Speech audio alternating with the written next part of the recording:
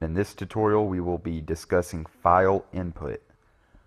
Now as with file output the first thing we need to do is include the right library that's going to be the same library file stream fstream and then the we also need to declare a file handle that we are going to be inputting in using the ifstream um, declaration.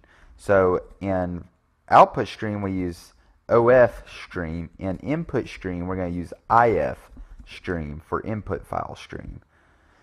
Now the the difference is in input we we need to already have a file specified that we're reading from. You know, you don't want the file to be empty.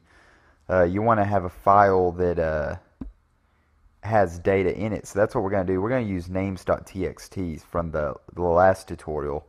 And I'll go ahead and open it real quick so that we can add some data. We're going to use um, names such as, uh, we'll use Zach, um, Troy, Sam, Jim, Mark, and Kristen, and Margaret, Taylor, um, Jake, and um, Sherry, and Francis as the names for our. Uh, we're just going to basically make a name list. So these are all names, and let's say we're wanting to read these names in from this file and um, store them in a variable. So to do that, we need to know the name of the file and declare a file. So we're going to say, we'll say input file, and we need to declare the name of the file that we're reading from, which was names.txt. So we're reading from names.txt. And as with the output file, we just need to go ahead and say if not input file cout file not found into line. And let's return a value like negative 6 so that we know uh, it wouldn't be found. And let's go ahead and run it. And we got process return 0 so names.txt was found and it should be because it has been created with all these names in it. And uh, remember, this is just a cautionary thing. So you, if your file for some reason comes up missing, it'll return negative six, and you'll know that it that it's um, gone. And this is again just a, a practical way to uh, code your program to look for errors and problems with the uh, with the uh, code. So moving on, um, let's go ahead and create something to store these names in. And if you if you want to think about you know the things that we've gone over, probably the perfect thing that we could use is a data structure such as an array, and we can just make one variable, one array, and then store all the names in that array. And so to do that, what we'll do is we'll say, um, you know, one thing one thing about an array is that we have you could have an unknown number of um, an unknown number of names here. But, and obviously, if, if that was the case, you would probably want to use a, a different uh, data, data structure. But since this is a beginning a beginner's course, we're going to go ahead and use an array, and we're going to assume that we know how many names are in the file. Uh, if I if I teach an advanced course, but, but you know, kind of depending on how how well this one does, if I teach an advanced course, we're going to definitely go into more advanced data structures and a better way to store this data whenever you know the amount of names is not known. But like I said, for now we're going to go ahead and assume that we know how many names are going to be on this list. So let's count them up. It's 1, 2, 3, 4, 5, 6, 7, 8, 9, 10, 11. So there's 11 names. So let's just let's go ahead and uh, declare a constant value, constant int size equals 11 and we'll use that for the size of our list, okay? And then let's go ahead and make an array. Like I said, I like to do, it's kind of a convention to declare your arrays at the beginning of the function. So that's what we're going to do. We're going to declare the array, and uh, it's, it's going to hold string values because these are all string values. Um, alphanumeric, you know, uh, multiple character values. So um, we're going to use a string and we'll say um, names list. We're going to hold size for the value and we're just going to declare it just like that as um, actually I think the better way to do that would say equal and then brackets and then just do that just like that. And if we run that that should not get a, give us an error and it doesn't. And the reason why is because CodeBlocks in most IDEs will see, this as instead of having to basically do empty strings 11 times to declare this array, if you just put one empty string in there, CodeBlocks goes ahead and assumes to set all the default values to this, an empty string, which is what we want. We, we want the strings to start out empty so that we can put new ones in their place later. So that's basically we're initializing this array to a bunch of empty string values. That being said, let's go ahead and get to where we can read in these um, this these file names.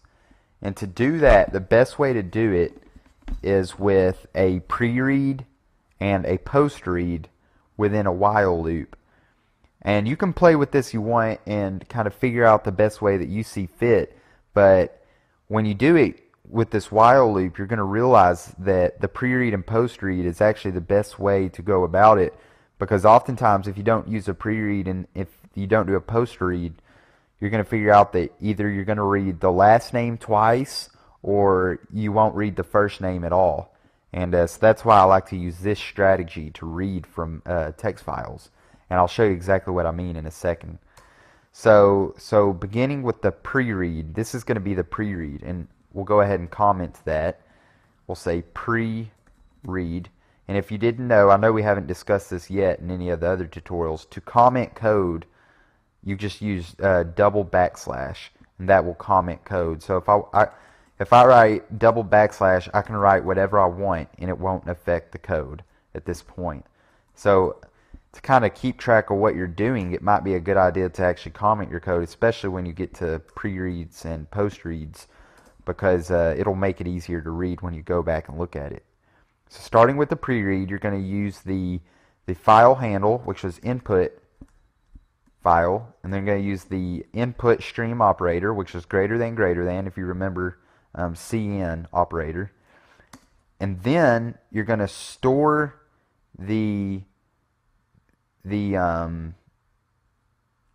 the the the name, the string from names.txt. Sorry, I got my I got my uh, words uh, twisted there for a second.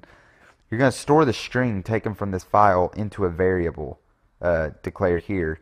Now, it, it's not advised to put this straight into a straight into an array. So what we're going to do is we're gonna, just going to say string um, temp name, and we're just going to leave it like that.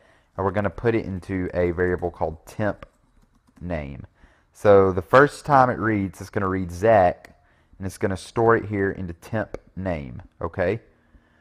Now let's make a while loop, and this will all make sense after uh, we're done coding it, and you'll see why. So then we make a while loop, and we say while not input file dot eof parentheses, and this dot eof is a function and we'll go over more with functions in the next tutorial, but it stands for end of file. So basically this condition says while input file is not at the end of its file. So basically when it reads through, the cursor starts here, and as we read through it, the cursor is going to move like this, all the way down through this file, as this while loop continues until the cursor gets to here at the end of Francis, and that's considered an end of file because there's no more text in this file. And uh, as long as it's not at the end of the file, this while loop is going to keep looping. So that's why I like to use uh, for my loop. And while it's not at the end of file, go ahead and enter a few times, comment post read, and we're going to say do the same thing as the uh, the pre-read, just temp name. And this right here, this pre-read, this post-read, and this while loop is your basic setup for file input. And I know right now you're saying that is really complicated, it doesn't make sense, but this is the best way to receive input from a file. and you'll see why I want you to play with it and see if you can figure out a better way to do it. But I think I think once you play with it for a while, you're going to realize that this is definitely the the cleanest way to receive file from a uh, receive text from an input file. So let's go ahead and continue on. And you always want the post read to be the last thing in your while loop, and your pre read to be the first thing or the the last thing before your while loop. So you never want anything in between your while loop, like right here, and your pre-read, and you never want anything in between your post-read and the end of your while loop right here. And that's just a golden rule for file input. So, but anything, anything that you want to do, um, you know, data processing wise can go in between here. And that's exactly what we're going to do. So we're going to say, we're basically going to say input, or we're going to say, how about this?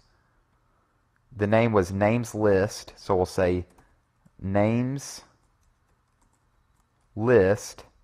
And let's go ahead and declare an integer value. So we'll say int index equals 0. We're going to say names list index. So it's going to start at the first value in uh, names list equals temp name. And then we'll say index plus plus. And what that's going to do is it's going to go through each name in this file. It's going to start with Zach, and it's going to start at index 0, go to the first uh, index and names list, and it's going to store Zach, because Zach is being held in temp name. And then it's going to add one to index. It's going to do the post read. It's going to go back up to the top of this while loop, and it's going to put the next name on the list uh, Troy into our array. And, and if you don't believe me, we're going to hit run. You'll get no errors and nothing happened. So as of right now, there's no output, but I promise you it just populated the whole array, our whole names list array, with the, with the names in this file. And to prove it to you, we're going to use a for loop on the outside of this while loop. So we're going to say for int, we'll just call it i, equals to 0, i less than size i plus plus and then we're just going to go through this uh, this loop and prove to you that names list is populated with the names in our names.txt file. So we'll say names list i into line. And if we run this now, it's going to output our array and uh, right now it just says Francis. So let's take a look at what went wrong there. So something's going wrong with our names.txt. So we have we have Francis here. Maybe I believe it has something to do with the way we declared this array with this empty string. So let's see if we take this out, if that will fix it real quick. Let's hit run. And it, and it still says Francis. So we're having an issue with our with our um, array declaration because I know for a fact we're getting the input file and we're storing it in temp name and then we're using the index to um, there there's our problem right there so so obviously if index is at the beginning of the while loop then and we're declaring it to zero, then each time this while loop runs, it's going to set index back to zero. So what we need to do is we need to take this index equals zero out and put it on the outside of our while loop. That way it's only declared to zero once. Now when we run our um, program, we will get all the names in our list. That was a minor, um, that was a minor mistake. Obviously, it uh, completely changed the output of the program. And so you really got to look out for that stuff. And um, if you didn't really get the mistake, uh, like I said, we had index equals zero at the top of our while loop. So every time this loop ran, it was setting index back to zero, which is why it has to be on the outside of our while loop. But uh, I think you should definitely go through this program uh, several times because when I first started C++, I found file input is a pretty complicated topic.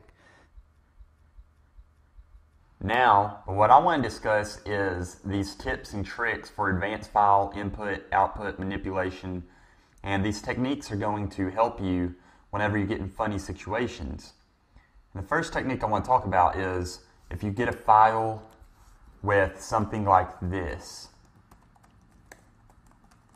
Now this is a header, and many files have headers, but if we run this program right now and we change, for instance, we would have to change this to 12 before we did it, but if we ran it, it wouldn't crash, but we would get, well, let me make sure that I have this right.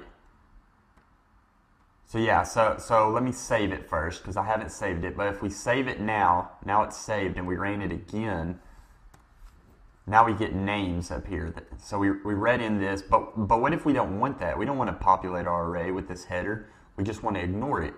Well, that's what we're going to do. We're going to use a function called ignore.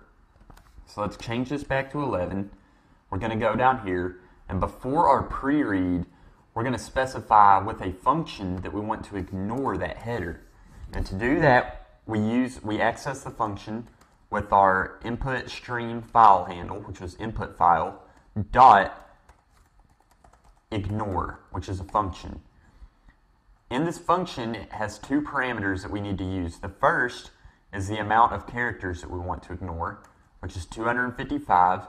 And the reason it's 255 is because in a console window, in a C++ application, in the console window, there is 255 characters on each line. So if we specify 255, then it will ignore this whole line in the console window and the cursor will be moved to right here, right before Zach. And the other uh, parameter that we want to specify is what's known as a delimiter. And that's a character that says if you reach this character, then go ahead and start reading, quit ignoring. And this is a new line character, and uh, later in this tutorial we're going to go over this in depth because this is also a formatting, advanced formatting option that I want to discuss with you guys. But this is a new line delimiter, which means basically if you get to the end of this line, you're going to reach a new line character. I want you to quit ignoring because when you get to a new line character, you're going to end up right here, right before Zach. So that's what the delimiter does. So now if we run this program again with the ignore function in, we only pick up the names that we want and it ignores the header just like we wanted it to. So moving on, I want you to go ahead and memorize this function because you will be using it a lot more than likely with file input. But moving on, we're going to discuss this guy right here, these uh, special formatting characters. And we're going to do that here at the bottom of our main function. We're going to say something along the line. Let's give us some space. And we're going to say,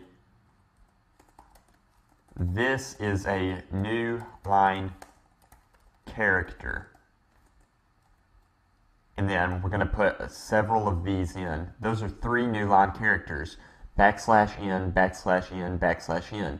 And essentially what we're doing is by putting these backslash n's in with our string, it's not going to print these. These are basically the same thing as saying this. But instead, we can just use the formatting character with the backslash n and accomplish the same thing. And if we run it, you'll see exactly what I mean we get three new lines right here below our output because we added these new line characters. So let's move on to another example of uh, these special characters that we can use. We're going to uh, use the formatting tab character. And we'll say this is a tab character. And then we're going to we're going to enter in four tab characters, which are backslash t's, and we'll say tab. And then a couple of backslash n's to give us some space. Because remember, those are the same thing as new line characters. And these are going to be our tab characters, and you'll see what I mean in a second when we run it. So we run it, and you can see all this space in between tab and this is a tab character, and that's where these backslash t's come into play. So that's a special formatting option you can use. The other one that I want to show you is quotation marks. We'll say this is a quote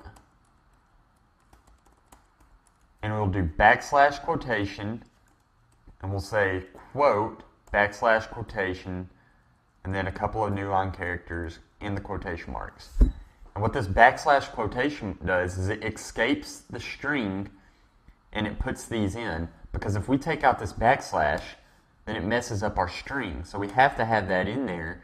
And this is just a special formatting option. And when we run it, you'll see we'll be able to actually have quotations in our output.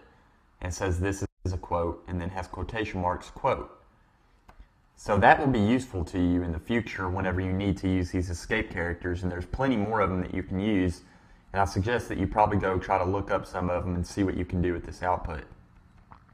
Okay, moving on. I want to go ahead and discuss one more thing with you, or actually, we're going to do a couple more things, but, but one more with file input um, before we continue, and that is we're going to go to names.txt, and what if we had something like Troy Hodges here? Well, Troy Hodges, that's a last name, and if we change this to 12, I'll show you what happens when we actually run this. So we'll run it, and instead of saying Troy Hodges, oops, we need to save it real quick before we do that. Okay, so there we have it saved. Well, let's run it one more time. And instead of saying Troy Hodges, it says Troy and then Hodges on the next line. And that's not what we want. We want the whole name on this same line. But what's happening is in a file, as soon as the scanner gets to a white space character, it assumes that that's the end of this, of what we're reading, and puts that into our temporary variable. So what we, what we need is a function that will read this whole line and put that in a single variable. And that's what we're going to use. So just like we used input file.ignore, we're going to use another function called getLine. And we're going to put it in our pre-read and post-read. In the getLine function, all you do is type getLine you specify the input stream that you're using, which we're using input file that we specified, and then you specify the variable that you want to hold the string in or the line in, which we're calling temp. And we're going to do that for both of these. We'll say getLine input file, comma temp. And that changes our our pre-read and post-read to where it reads in a whole line instead of just a single string value. And when we run it, you'll see the difference. Now we get Troy Hodges on one line, whereas before it was it was separated into two separate variables. Now it's holding this whole value in one index of the array. So that's the getLine function. And then the other one last thing I want to show you is what's called the IO manipulation um, library, which is the input output manipulation library. And if you include that, include IO manip, you can do some really cool things with output, and I'll show you what I mean. So we'll come down here and we'll say cout left, which specifies a left alignment. We'll say set precision to 2 and then fixed. And what this does is it specifies left alignment, set the precision to 2, and what that means is that decimal values will only hold two places, or any value for that matter. So if you have the number 200, it's really just going to look like 20 because it's not going to hold that other zero. Well, what fixed does, fixed says take this set precision and only apply it to after to the right of the decimal place. So now if you have 200, it will hold the whole number 200 plus 0.00. Or if you have 200.134, it will only hold the value 200.13. So let me show you what I mean. We're going to make a double value 201.792 and we got to give that a name. We'll call it double value equals, and then we're just going to output that. We'll say cout um, end a couple lines, and we'll say double value. And when we do that, you'll see that we only get 201.79 and not 201.792. And that's because we used this IO manipulation technique to set the precision to 2 after the decimal point. That's exactly what we did. And one last thing I want to show you is what's called the set width. So we're going to go ahead and make another value called int integer value equals seven, 227. And what we'll do is we'll say cout. Um, we'll give it a, we'll give us a little bit of space. We'll say cout set w specify 25, which is 25 characters. Then we'll say double value. Then we'll say set w again 25, and we'll say integer value end line. And what this does, this sets the width to 25 between each value of output. And you'll see what I mean. When we run it now, we get 201.79, a width of 25 characters, and then 227. And then if you if you printed out something again, you would have another width of 200 of, of 25 in between it because we we specified to put another one right here. And that's exactly what that does. So I suggest you play around with these advanced output and input manipulation techniques and uh, you'll learn that you can do some really cool things. So thank you for watching and stay tuned.